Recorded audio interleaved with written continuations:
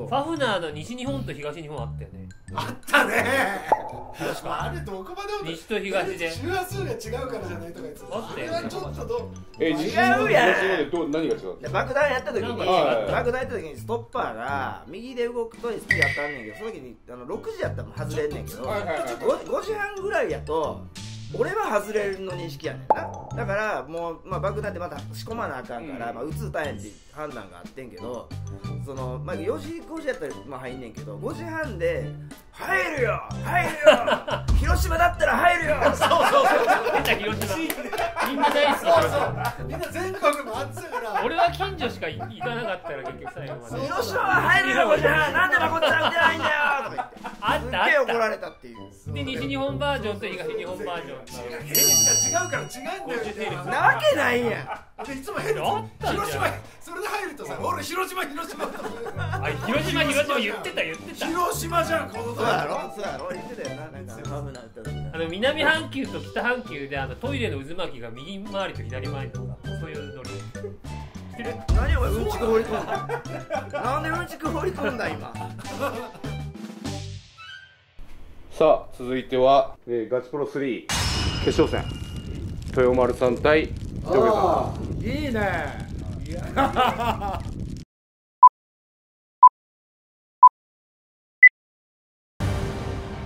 脱落した4人の思いを背にいよいよガチプロ3も千秋楽。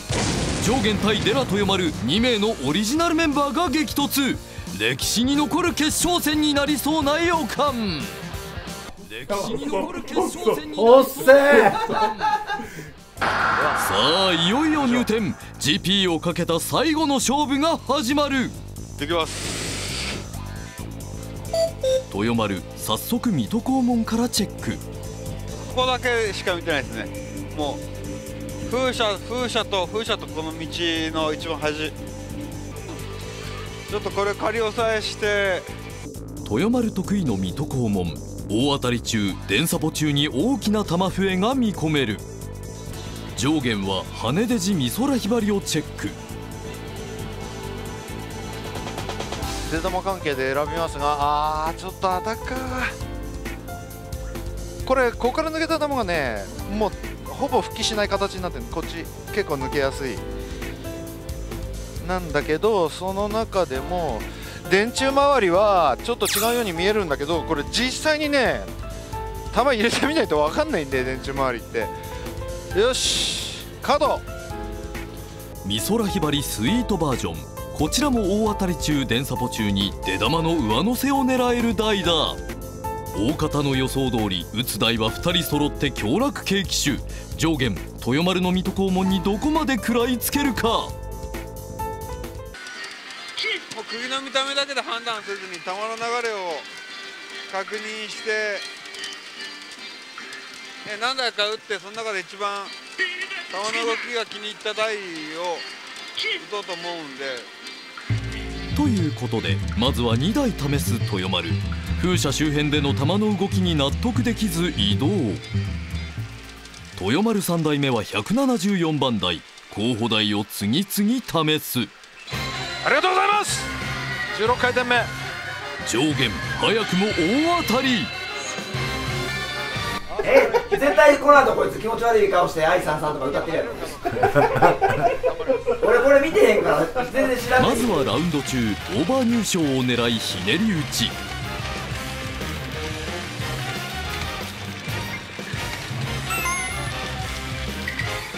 続いて電サポ消化開放2個打ちで様子を見る。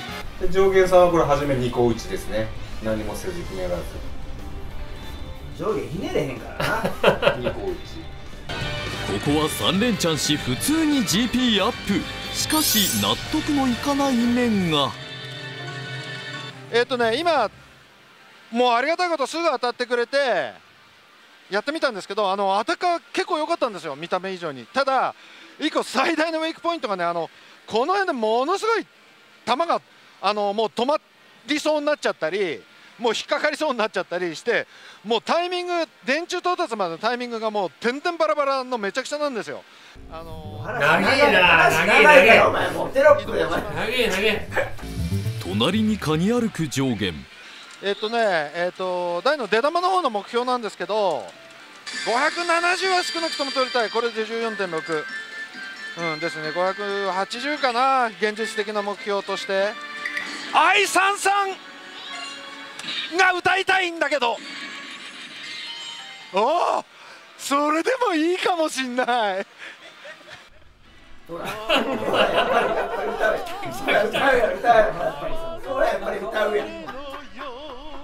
川流れのようにいなお前け Yes we can! いろんながまだ見てんなお前オバマの時代。オバマの時代。オバマやオバマの時代。すごい。古いオバマやろお前戦ってきたライバルたちの、まあ、北斗の剣的に言えば友ね。友たちのいろんな部分をパクりたいと思います、えーというわけでちょっとね船虫の電サポ中の取り方がうまかったんで今日は今日からそれをパクってみようかと。船虫打法を真似る上限解放ごとに毎回2個ひねり。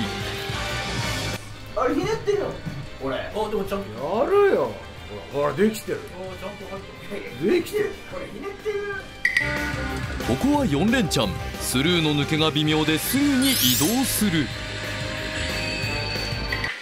はい。いただきます。あああねあったあったあった俺の時に右を右の様子を見るうわー5個拾えなかった今右右やばいかなこれ212回転でしたで、まあ、最初の5戦がね113回転だったんで次の5戦は100回ってないってことですね。ただまあ100まあ20でもね全然まあ20もないと思ってるんで今のところ上出来です。おえ当たってた。1万4500円。さあ頑張ります。気になる右消化まずはラウンド中のひねり打ち。うわー2個目持たれるな。150個6個しか入ってない6個しか成功してないよ。まあ1回目はこんなもんでしょう。豊丸の電サポ消化。ロング解放とショート解放で打ち分ける。テロップで上限スペシャル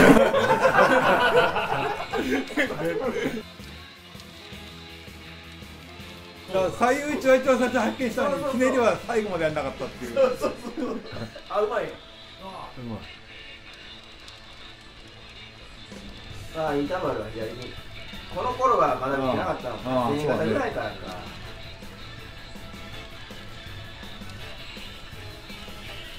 指サックこれ。サックでしょこれ見たらこれやってます。指サックでこれでしたれが水戸黄門の本物のプロか。ちょっとどんだけハマってんのよまたこれ。ちょっともういい加減当てようよ。ねしかもこれバネがいい。今までで一番増やしてる感触がある。当たる。おー。ああ当たる。ちゃんと特格えマジで。おいおいおい。おいしまいな特格引いてるし。連チャンが伸びる豊丸先ほどのハマりとは裏腹に浅い回転数で当たる。ラウンド中のオーバー入賞も慣れてきた。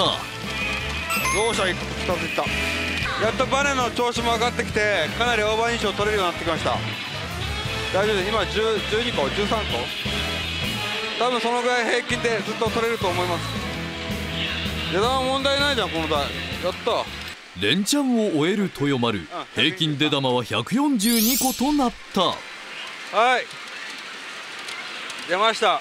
142出玉1ラウンド。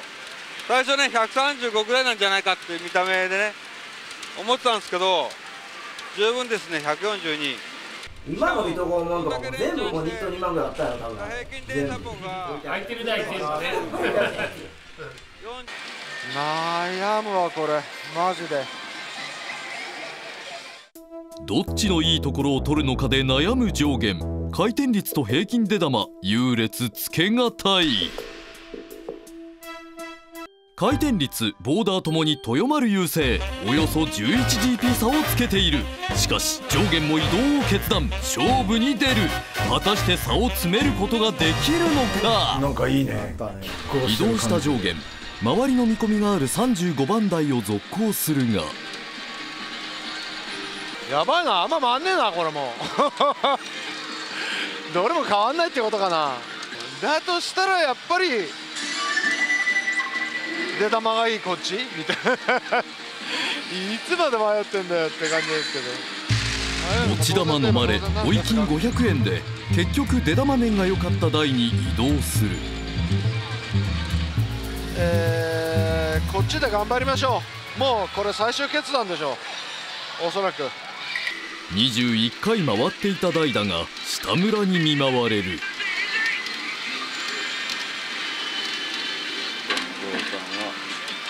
19.3で同点だ。向こうが20回りの15だとして20回ってボーダー15の時に。19.3か。もっと落ちそうな気がするな。まあまだ20.9とか回ってんのに。ここは5連チャンで終了。平均出玉は前回より1個アップ。上限も後半戦初当たり。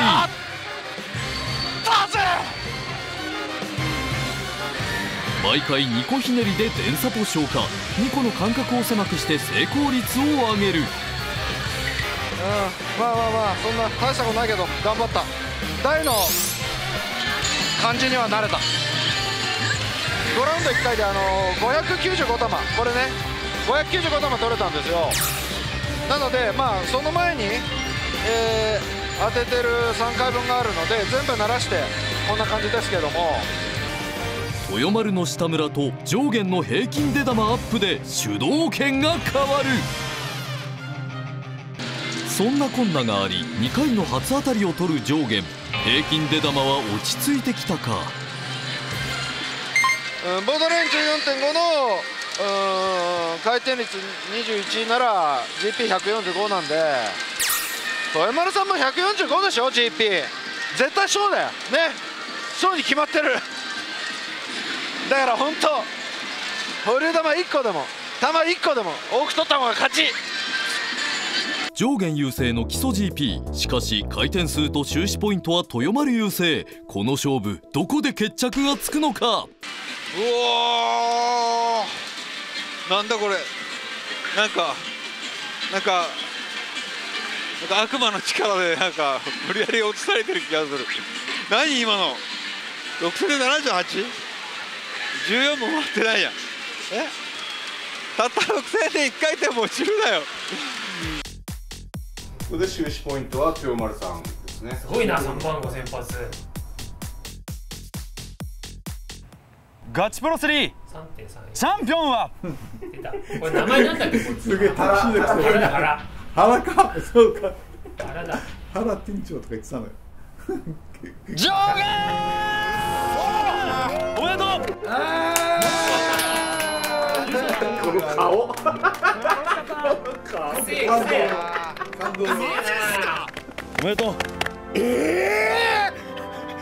上限優勝なんとファイナル GP 差は0.99回転数収支ポイントは豊丸が取ったが根本の勝負大 GP は上限が圧勝。見事豊丸の水戸黄門に土をつけた。はい。いやうそうだよね1ポイントサッカマジっすか。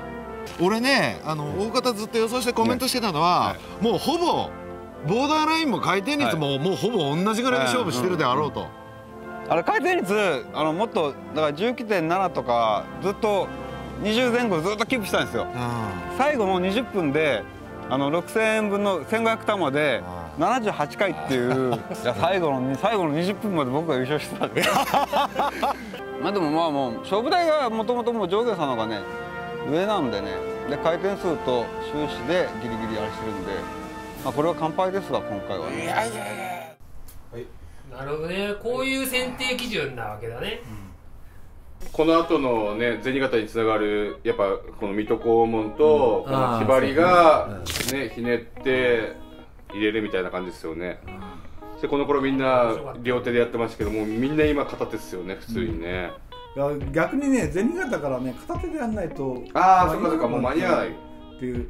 店に怒られるやんな。うんそう目立つし。目立つしあとやっぱ水戸の時はやっぱ、こう屋根がさ銭形よりもシビアだったんだよね。だからシビアなんですよいや見たのが。単単純にひねってるやつまだ少なかった。うん。少なかったですよだから水戸の時、うん、そうだから銭形が一つの大きなさターニングポイントというかあれですごいゲーマーとかすげえうまいさ若いあと子たちが出てきてあとねあらアラジンの時にこうストッパーにいろんなあそうね。いろんなの使うっていう こんなんやってこんなん。そのねあれがあったからね水戸の時もなんかいろいろやりたかったからやってたなんかハンドルにさこう線線をさこうシシールをこっちだとこっち側とシール貼ってここがちょうどいい場所みたいなシールとか貼ってさみたいなシールそうだね何年だったかもう一切したくなったけど水戸黄門の時はさみんなさいろいろやりたかったんだよ。マジックで書くやついるから。ねこの辺の時期ってあのパチプロにとったらどういうあれだったんですか？なんかなんかひねる台が出てきてライブが増えてきたなみたいな感じ。ですか銭形に入る前ですけど。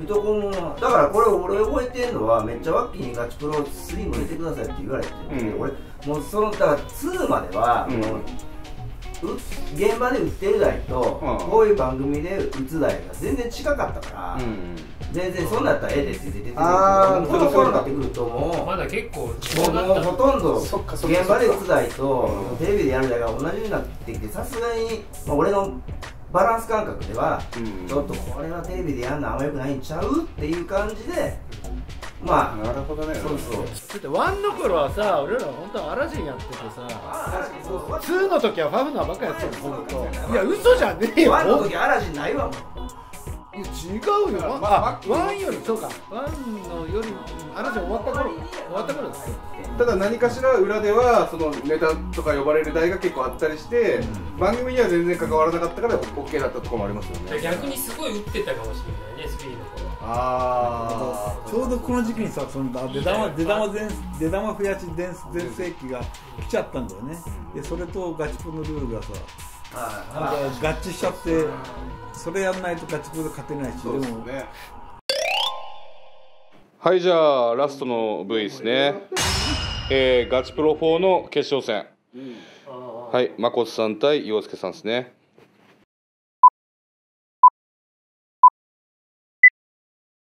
長き死闘に終止符が。トーナメントの頂に立つ男は陽介誠のどっちだ？うん苦手意識とかないんですけどまあとりあえず今日はもうあれですよ。なんだろう。その今まで言ってきたことがただのおべんちゃらにならないように全力でぶっ潰すんでまあ、なんつうか、まあ、倒しても倒してもまた這い上がってくるみたいな。ちょっとねまあ、ゾンビ誠誰がゾンビやねん ガチプロ4群雄割拠最終回。最後のドラマが今始まろうとしている。あこあれ？ここじゃん銭形。10時入店。陽介は足早に銭形の島へ向かう。いや一応これ押さえて。とりあえず。すぐに銭形をキープ。あ銭形の時代だもん誠も出遅れて銭形の島へ。うわまた？あ？ええおいちょっとへそでかいやんけこれ。ヘソプロ。そう。結局打たないと分かんないっていうね。これめっちゃ出るやん。これ150は絶対超えるやろ。あれ？両者ともに銭形をキープ。銭形で始まったガチプロ4最後も同期種対決で終わるのか。もうもう銭形。銭形や今日これって勝つ。銭形が4台並ぶ中陽介がキープしている201番台に目を奪われた誠だが200番台から打ち始めることに。早いなお前がエグザイルしてないで俺もう8回回ったぞお前。 time is money やでお前。これエグザイルってどういう意味？銭形銭形はこれ。銭形は7番スルーがね通りそうなんですよねこっちね。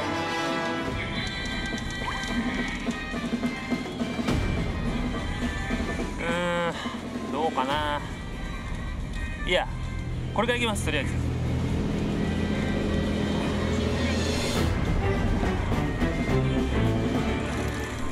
を変更した陽介。1台目は右端の202番台から打つことに。早くも大当たり。おいおいおいおいおいおい。早えな。早速電サポ消化この台の出玉関係はどうなのか。これインターバルは左に飛ばしてます。あへそ埋めでしょこれ。ああでもあれか。入入るかね一へそ埋めあったね。あーなんかねバネが屋根自体はいいんですけどバネがねいまいち良くないからまあ増え今今回増えたんですけどここは通るんだけどここがねこのこぼしがちょっと気になりますね。と誠もここで大当たり陽介同様に電サポ消化を始める。こちらの出来はどうなのか？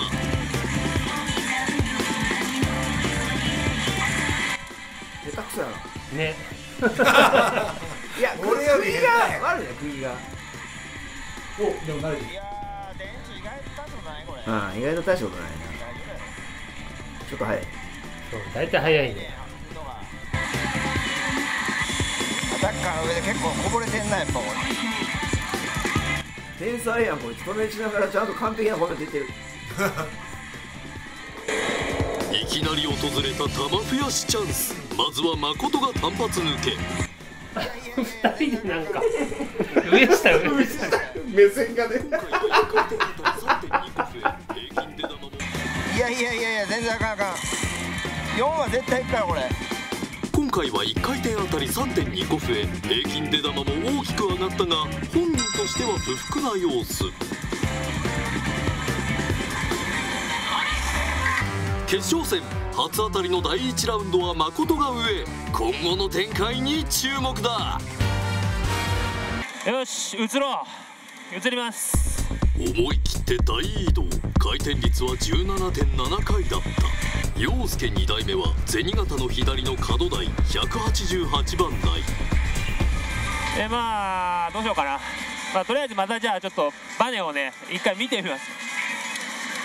あのねさっきの台よりはバネはいいかな。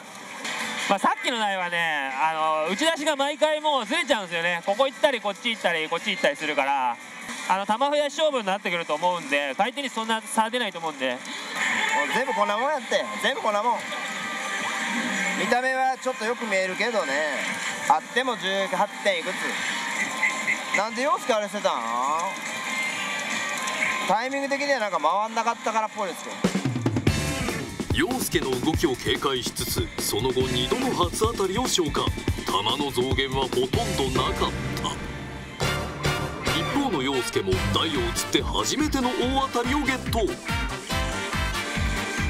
1台目と比べて出来はどうなのか？これ会いたかったボーナスなんでパカパカっすねこのパパカパカ懐かしいねパカパカに合わせる。でこれ最後は大島優子っすね。これまだひねってへんかってんな本当に。パカパカも単発やってんな単発だね陽介。パイセン。2個打てないんじゃないか打てる打てる。打てる。入る。ひねる。ゆうこああいいね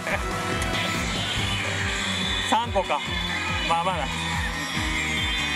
ノーリーチ。ノーリーチだから、まあ、ちょっとねミスってた部分もあるんだけど。まあさっきの台よりはね全然いいですね。バネ。ちょっと足らんかな。足らんかなっていうかこっちも打っときたい。誠ここで大移動。右隣へカニ歩く。2台目は陽介が朝一キープしていた201番台へ座るこれで全ての台を打ち切ることとなる両者正解はどこなのか？さて移動した誠はという通る全然通るやんここ。とお助け電柱の肝となる左のスルー抜けがいい様子。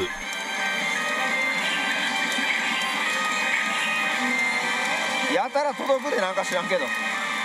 ちょっと待ってこれ分回りや。ん絶対これや負けだって思ったもん俺最初陽介に台取られた瞬間周りに好感触の誠この台初めての大当たり。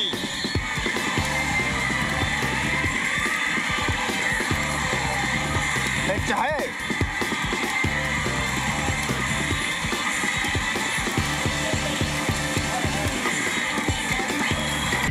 誠が言うだいぶ速いとは釘の球がすぐに電柱まで到達するということ。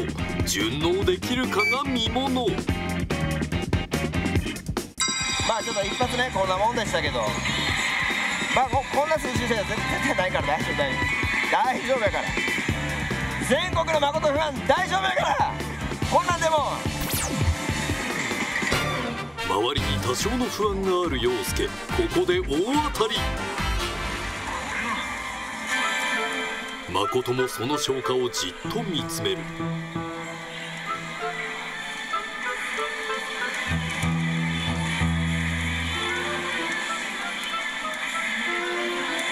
あんなに左から打ってる2個入ったらあかんやろ。乾燥しちゃうこれ9個入ったら乾燥ですよね。そうそうインターバルでの左打ちが効果的な陽介気持ちよく入賞する。ここは1回転あたり3個増えで平均出玉も再び140個台へ突入する。あかんあかん見たいあかんあかんあかんあかん。なんか死神みたいな顔してるぞ今。アホ面？アホ面？アホ面全世界中継？ただ目やった目やった。目やった。やばい。魂抜かれる。続いて電サポ消化先ほどの速い弾道に精度よく合わせてくる。いろいろ話しちゃいけないってルールでしたねあそうやったっけ？情報交換交換とかはいいちょっとある。おうまくなってきた。一個だけ聞けるとかあのあ情報交換はさこう。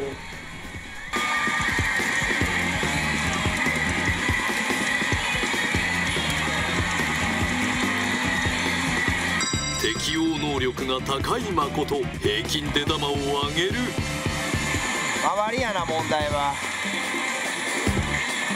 はーいガチプロ4最後の情報交換タイム。もう絶対出玉はもうだって見て分かるやん。大体増えてる感じな。あれちょっと待って。渋いね。こんなもんか。やべえニヤついてる。勝った顔してんじゃんいや僕もじゃあこっちで回転率ではあ？いや回ってないですね。誠も。これならまだ勝負になるかな？慌てて動かなくても。そうだもっと回って もっと回ってると思ってたの。これ俺優勝するわ。こんだけの差しか入ってへんねやったら。回転率もこんなんやったら。いけると思います。お互いがホッとしたという印象の情報交換。現在は誠がリード中。このまま行くのか？こういう戦い。え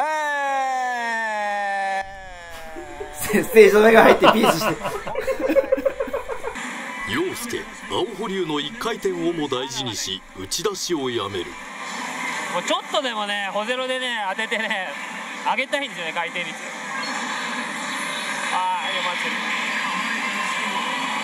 どうかな誠同様に少しでも無駄なく丁寧に打ち込む。おお当たったよ。当たんのか。ラッキーラッキー。小ゼロだからね。玉抜き今すげえ。上皿パンパンから始めたんちゃうお前これ。これ。ちゃんと数えてますからほら。ああ3.5売れた。今回の大当たりがまあ演出良かったのもあるんですけど3.47個。まあちょっと慣れてきた部分もあるあるんでまあ出玉的にはまあ順調かなと、えー、16.6ですね回転率。さっき16.2だったからまあちょっと上がったと。ちょっと上がったんだけどやはりあまり芳しくないと。そんな中誠が初当たりを取る。大当たり中スルー抜けに不安があった誠。しかしいざ電サポを消化すると問題なし。さらなる玉笛を望んだが今度はタイミングが合ってこない。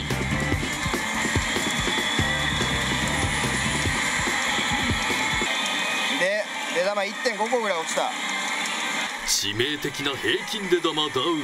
これは痛いぞ。逆に陽介はというと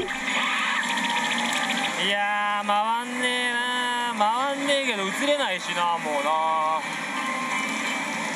陽介の GP が1244とか5ぐらい。誠の現 GP がおよそ123陽介の回転率はどこで落ち着くのか。それ次第で全てが決まる。はい出玉は終始ポイントは陽介さんですね。これ10日だっけ？あそうそうそう。だから全部交換なんでやなんでやねん。お前長いやんけ。出た出た。なんでなんで2カットやねんお前のとこだけ。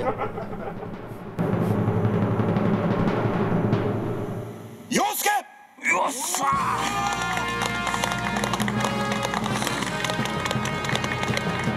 陽介優勝。ファイナル GP の差はなんと超接戦の0.35となった。紙一重で誠を退けた。決め手となったのはやはり陽介の平均出玉落ちる回転率もなんとか16.81回で収まった。ああこんな感じですわ。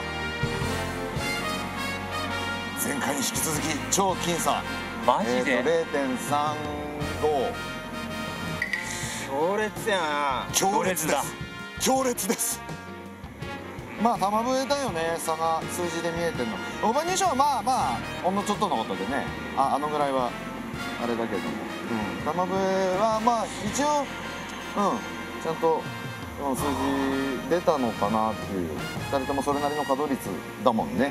うん。まあ今までやってきてまあ良かったなって思いましたね今。初めて。嬉しいです。ほらお前。すげえしんみりしたやんけ。こんなん使うなよ。お前おおコ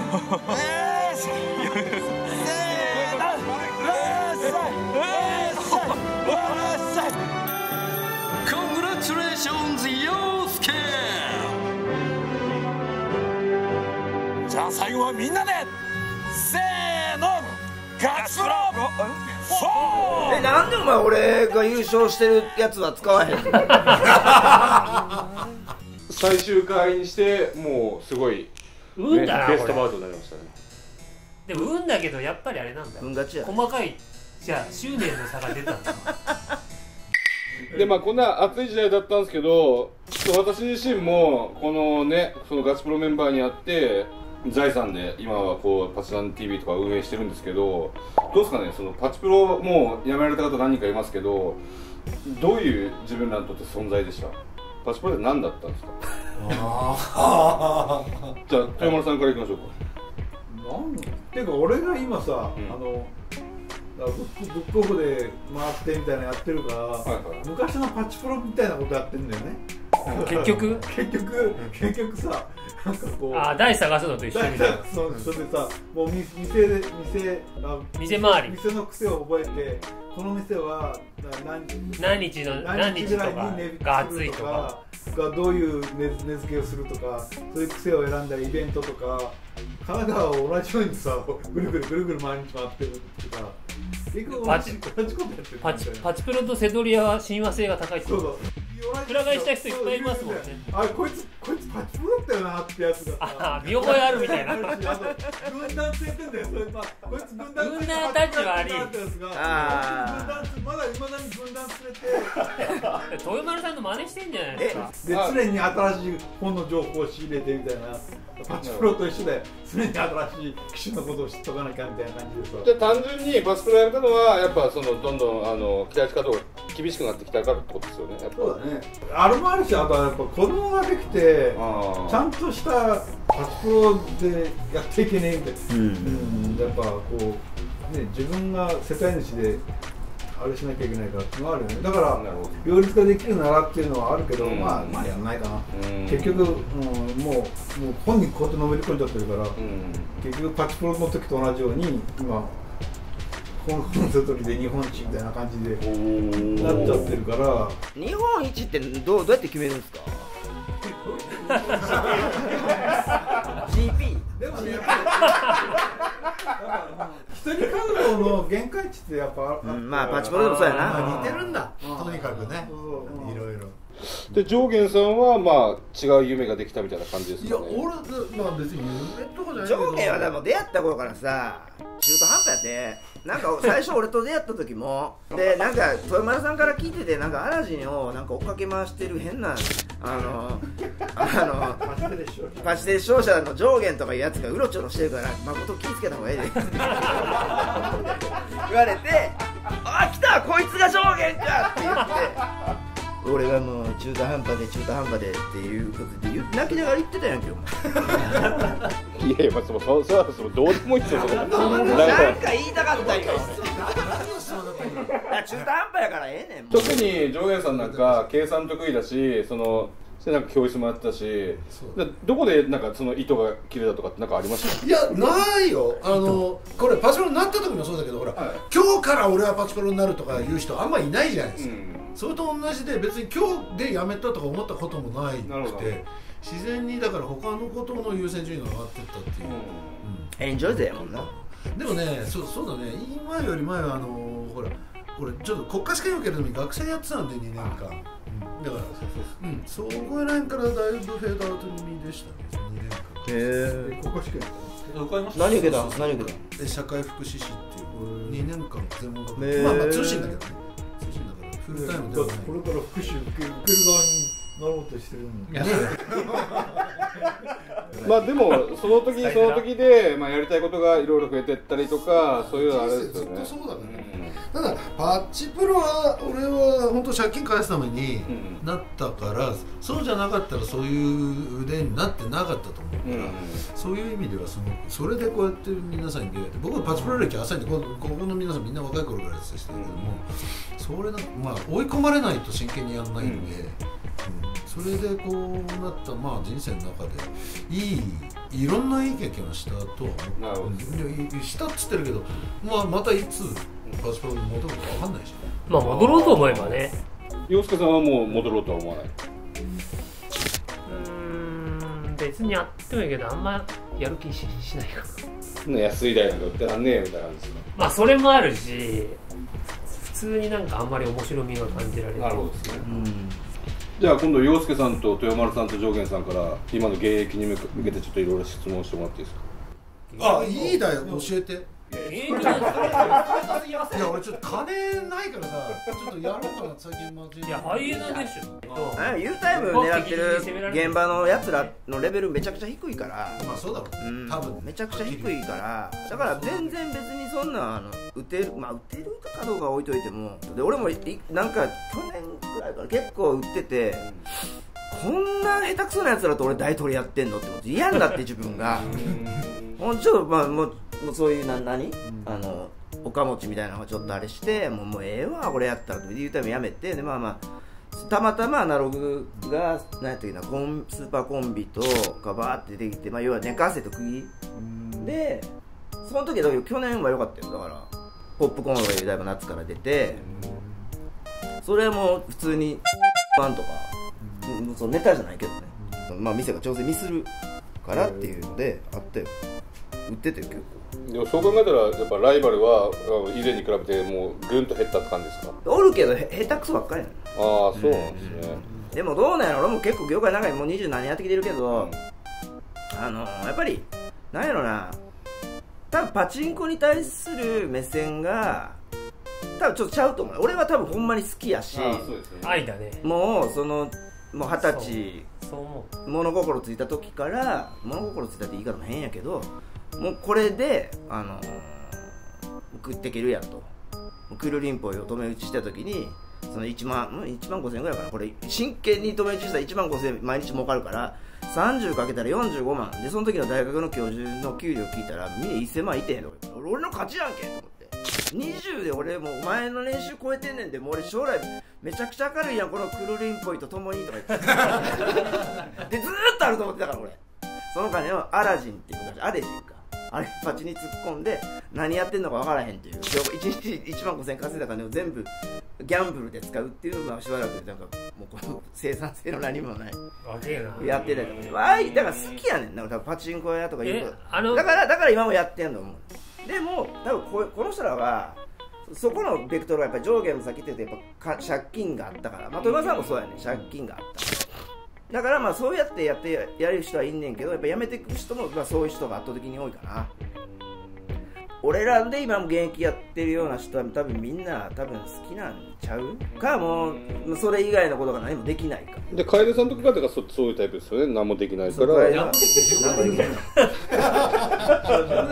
僕の場合、まあ、パチンコ台も好きなんですけどそのパチンコ屋の雰囲気が好きです。すあー。ごい好きです。なんかこうなんか平等って言い方すごい単調なんですけど、例えば、えっと持ち玉時給とか言えばその昔はこの人たちが言ってたの5万あ5000円とかいっぱいあったと思うんですけど。なかったよまあでもさでもデジパチやデジパチやそうデジパチやっぱなんか3万円がそうですよあの最低ラインとか言ってたんですけど、はいはい3万今2万ぐらい今探してる人が1500円とかって結構言われてるんですよね。あでもにでも2万ある2万で探して2万であるんだまだ。えー、と2万取り合ってますみんなだからあのーこうなんか少ないパイをみんなで取り合ってるんでライバルはめちゃくちゃ増えてるのになかなか見つからないみたいな、でもそのそのそのレベルのさ生活をしたらさ、精神的にすごいきつくなると思うんだよ。でもねそもそもねパチンコやろうと思うパチプロを始めた時点でもうね一般社会に溶け込めない人がいやだから家賃も払わなきゃいけないしとかだけどやっぱ苦しいじゃんそういう。思うように結果が出ない、ね、だ日本だったら下振れたらさ1か月でマイナスの時もあるだろうしそれから2か月3か月続いたらさとかそれ精神的にもすごい追い込まれたりとかするけども働く安定よりはもう勝ってらいたいよそうですね。嘘つけお前できひんから。楓の場合はできひんから。ね何にもまあ、厳しいって言っても、どんどん自分の中で進化していけばついてはいける。いけるのであのなんだろう。もう進化ししていきたい常に。パチプロとして。言うことわかるい。やだってめっちゃ言うことわかる結局あの今の時代のせいにしてもう食えませんってなんか放棄しちゃったらなんかなんだろう言い訳っていうか今までの自分をこう珍しいやんお前言い訳しかしてへんイメージあんねんけど今までの自分を捨ててる感じになるの嫌なんです僕だから常にあの言い訳せずにこう新しいことに挑戦していきたいなって一番かっこいいところってこういう台本だったの？いいいいこと最後の最後いいこと言いましたこれ YouTube なんで SNS とかなんかいろいろやってる人だったらなんか告告知お願いします。ああのね陽介がバンドマンデビューします。キックバックカフェというところでですね生演奏で、えージルバ横浜ジルバを踊るというですねえーイベントをやります、えーパーティーをやります。で、えー、と生バンド9曲演奏します、えー、とボーカル3人いて僕と陽介ともう一人女性あやちゃんという子がいてまああの曲によって僕4曲歌陽介も2曲歌います。あとあります？SNS やってる人。ままこさんあれですよね？YouTube はどうですか？更新頻度は。ああやってるよ YouTube 俺。そう。あそっかそっか。皆さんまこさんの方のチャンネルにあも俺やってます。飛んで登録してください。やってますって言って頻度がえぐいですけどね。いやもうなんかもうないや 半年に1回ぐらい。そう俺もっとやるわ。やって気が向いた時。今のとこマコリンポイで検索してくれたら出てくるはい。はい。で皆さんもツイッターとかやってるんでもしよろしければ登録お願いします。ということで皆さんありがとうございました。はい。ではまた。じゃあ上限最後あれ歌ってよ歌。せーの。じゃあじゃあ YouTube でかけようぜ YouTube YouTube ちょっと俺ええ曲用意してきたから。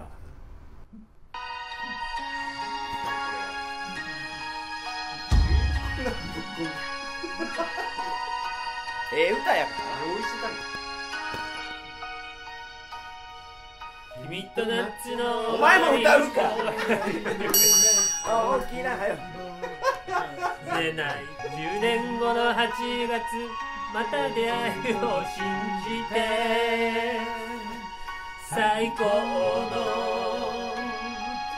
思い出を。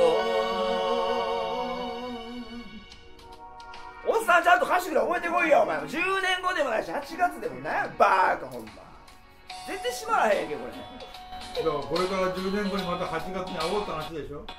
まあそして2032年。違うねんけど2030年の8月。違うねんけどほんまにボーカル大丈夫？ね。大丈夫？まあで結局この歌が好きなだけなんでしょ？そう。そうそうそう。みんなあんま知らないからね。知ってるわお前。みんなめちゃくちゃ有名な歌やんこれ